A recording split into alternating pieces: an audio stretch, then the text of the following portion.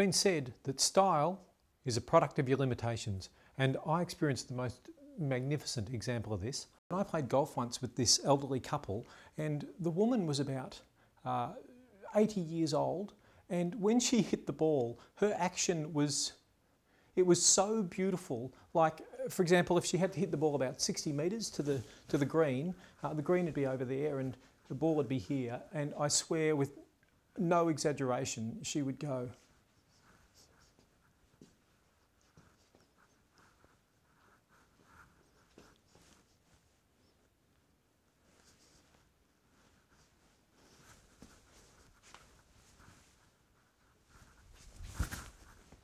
and she would hit it about three feet from the pin every time.